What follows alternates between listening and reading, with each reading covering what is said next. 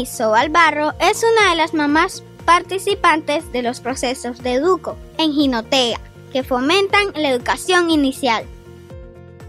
Nos enseñan los primeros movimientos de los bebés, que el bebé donde empieza a escuchar, donde empieza a, tener razón de sí mismo y luego vemos la importancia en la escuela porque este, los clubes familiares nos enseñan mucho sobre la educación inicial.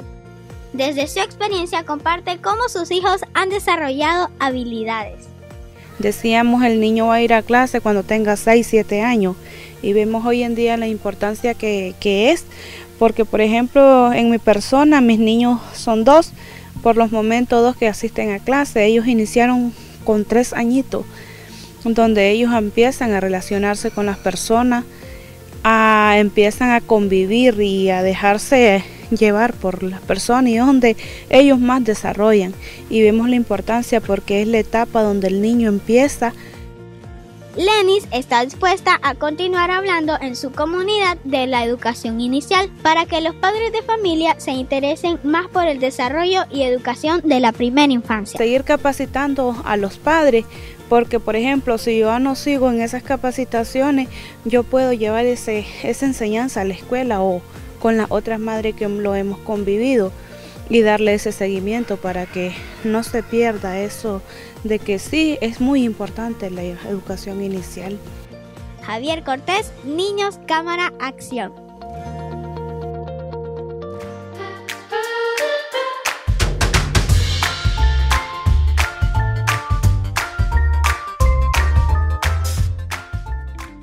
Gracias Javier por tan lindo reportaje. Podemos apreciar cómo Lenny pone en práctica lo que aprende en los clubes de educación inicial en el norte del país. Así es Camila, Lenny hace una gran labor en el norte del país.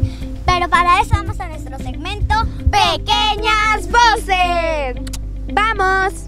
El segmento Pequeñas Voces es patrocinado por Educo, una organización que actúa a favor de la infancia y en defensa de sus derechos.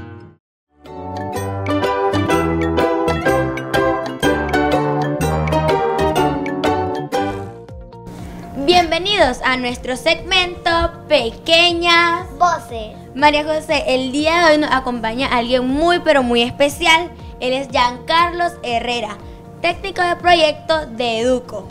Bienvenido Giancarlos, pero Lindsay te quiero contar que el día de hoy hablaremos sobre la educación inicial. Pero cuéntenos, ¿por qué es importante que nuestros papás nos lleven al colegio desde temprana edad? Es muy importante porque los niños desde las primeras edades comienzan a aprender y son como las esponjas porque aprenden de todo, ¿verdad? Ya como más, como que más grandecito, como que nos cuesta un poquito aprender, pero los niños en las primeras edades aprenden fácilmente y es cuando los papás y las mamás eh, pueden llevar a sus hijos y a sus hijas para que no pierdan esa oportunidad de aprender. Giancarlo, fíjese que le quiero contar que con respecto a lo que acaba de decir, de que los niños somos como la esponja, desde que vamos a, a los tres años a preescolar, yo tengo un hermanito y él es de las personas que si usted le está diciendo algo, él lo retiene. Porque cuando él estaba en primero y segundo nivel, a él le costaba escribir. Pero era así de rápido cuando yo no le preguntaba, ¿qué es este color? ¿Cómo se llama esto? Decímelo en inglés, decímelo en español. Y siempre a él le, hacían exámenes oralmente y yo me quedaba asustada por cómo su cerebro mantenía todo lo que la profesora decía. Eso está muy bien, ¿verdad? Sí, y además también porque en esas primeras edades los niños también desarrollan su pensamiento, desarrollan la imaginación y es también la oportunidad para que los niños también se puedan socializar entre ellos y también porque se desarrolla mucho también el lenguaje y como te decía también el pensamiento. La verdad es que cuando yo estaba en preescolar a mí me encantaba ir. Yo me acuerdo que cuando empecé a ir, yo no, yo lloraba porque no quería estar. Pero ya con el paso del tiempo me fui acostumbrando con los compañeros y me acuerdo que era como que súper y cuando ya me decía, María, levántate y yo me bañaba, me vestía rapidísimo para ir al colegio y me acuerdo que ella era una de las mejores estudiantes. A mí me encantaba, yo copiaba rápido, le respondía bien a la profesora y hasta hoy en día sigo siendo así con tanta energía. Qué bueno, María José, que sigas poniendo en práctica desde pequeña todo tu aprendizaje y siempre sea excelencia académica. Pero, Giancarlo, yo quiero preguntarles cómo Educo pone en práctica eh, que los niños desde temprana edad vayan al colegio en zonas rurales de Nicaragua.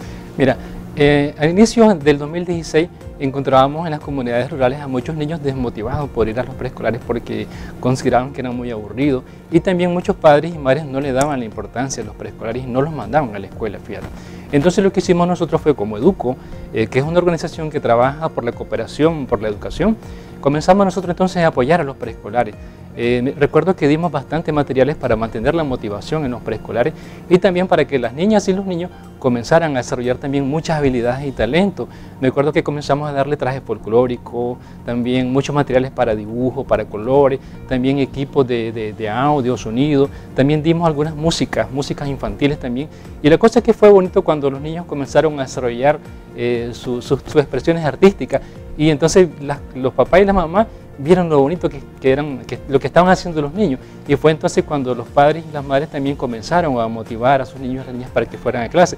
Los niños también, por supuesto, se sintieron muy motivados y alegres por lo que, por lo que estaban haciendo. Pero ojo con esto, muchas veces el apoyo que puedan dar los padres y las madres es muy importante a los niños y las niñas en preescolar. Cuando los niños reciben el apoyo de los papás y las mamás, los niños se sienten muy felices y tranquilos. Decían los niños, yo me siento muy feliz cuando mi papá y mi mamá vienen a la escuela. Giancarlos, quiero que nos regale un mensaje muy bonito, ya que estamos hablando de la educación inicial, para nuestros maravillosos televidentes, ya sean profesores, papá o niños. La educación es muy importante. Y cuando los padres y las madres damos la oportunidad para que los niños vayan a la escuela, entonces los niños se desarrollan. Mire qué importante es esto. La educación aporta mucho al desarrollo de las personas. Cuando hay educación, la educación transforma a las personas, transforma también a las comunidades, transforma a la familia, transforma al país y también transforma al mundo entero. Mira lo, que hace la educación, ¿verdad? Entonces por eso es importante que nosotros podamos educar. Hay que darse la oportunidad para educar y también para educar a otros también. Así es, Giancarlo. Muy bonito el mensaje que nos acaba de dar, ¿verdad, María José? Sí, yo creo que es muy importante ponerlo en práctica. Qué bueno, María José, ya con este, que estamos en clase, ya creo que ahora sí, los niños que vayan a una nueva etapa en su vida, que no, no se pongan a llorar porque es muy bonito aprender, es muy bonito saber los números, aunque sean infinitos, pero igual es hermoso. Bueno, María José, este fue nuestro segmento, Pequeñas Voces. Gracias, Giancarlo, por habernos acompañado el día de hoy. Y todos a la escuela, entonces. Todos a la escuela y a aprender, por supuesto que sí.